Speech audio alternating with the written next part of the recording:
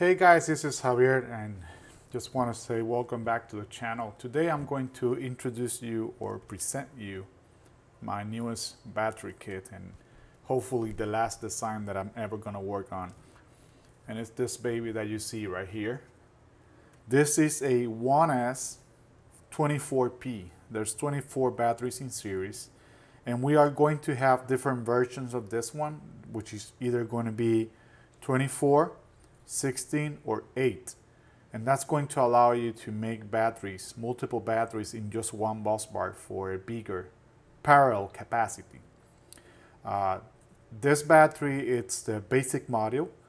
And the good news is that it has a included fuse PCB in it which means that once you have something like this it has fuses in every single cell or cell level fuse in the positive and the negatives in both sides. It also has a aluminum bus bar, but you can use any other material, and it has contacts every single uh, in every single cell. So today I'm not only wanting to introduce you to the new kit, but I also want to show you how to assemble it. And it's fairly simple. It looks like the one that you already saw a few months ago, which is, comes with a PCB holder like this one.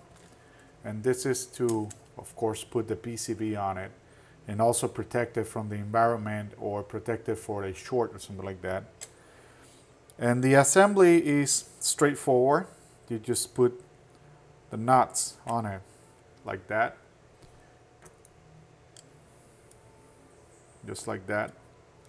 And this nuts or the spaces on these sides are for the cells but the one on the middle, it's for the very particular contact that you need for the PCB and the bus bar that you're going to see.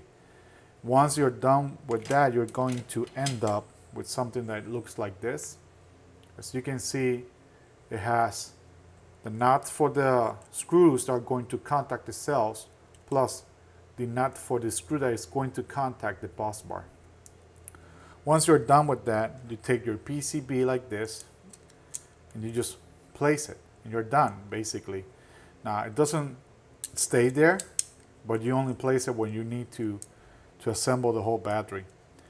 And the way you do that is you take your PCB and your spacer and you take the screw like that And you're going to place the PCB holder, which is this one, and you put it like that.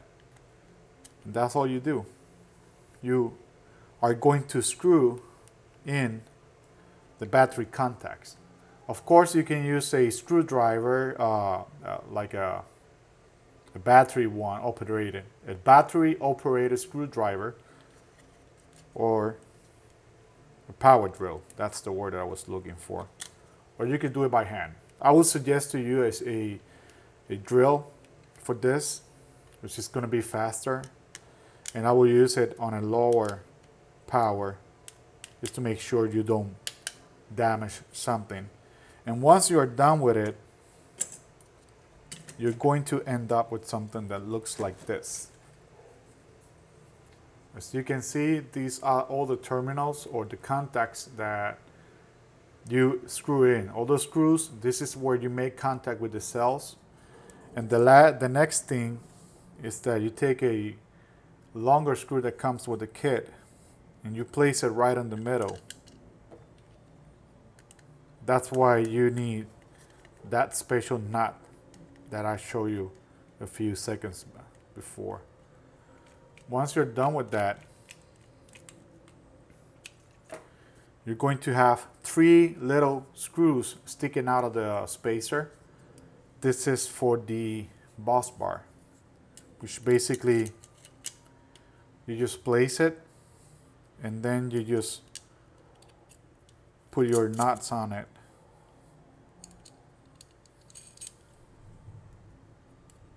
It's gonna rain today. It's, I can listen, I can hear thunders and just like that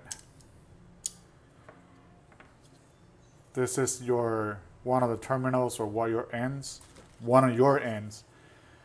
Once you have two of them,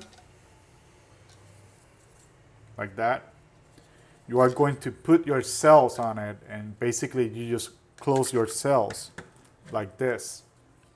And the last step it's to take a longer screw that comes with the kit, right?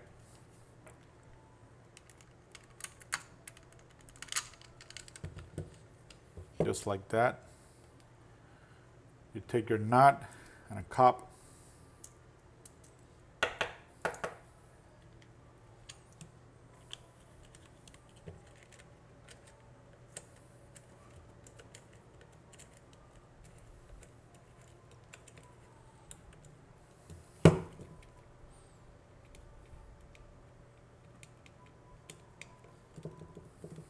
just like that you are going to screw in in the middle of the space holder. And this is going to make sure that your battery is tight down and doesn't move around. And as you can see you're going to end up with a battery kit that looks like this with a module that looks like this which is going to be positive and negative. And it's going to be like I said 1S24P and based on the average cell uh, capacity that we find in the market, which is 2200 milliamps, a module like this is going to have roughly 188 watts. In future video, I'm going to show you how to connect them in series so you can have a bigger battery. And this is the first video of many that come in talking about this design. Uh, this is basically the last design. But the good thing about this one is that you can technically connect more batteries in just one bus bar. Instead of having multiple, you just have a longer bus bar. And now this model became a 1S48P, which means that you have higher capacity and then you could do as you like. So there you go, guys. Hope you guys like it. Uh, I know it's been a long time since I made a new video.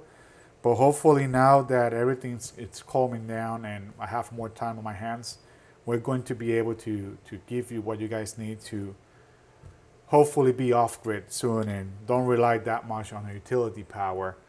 Remember, God bless you. Uh, like and share and subscribe, and I'll see you in the next video. Bye.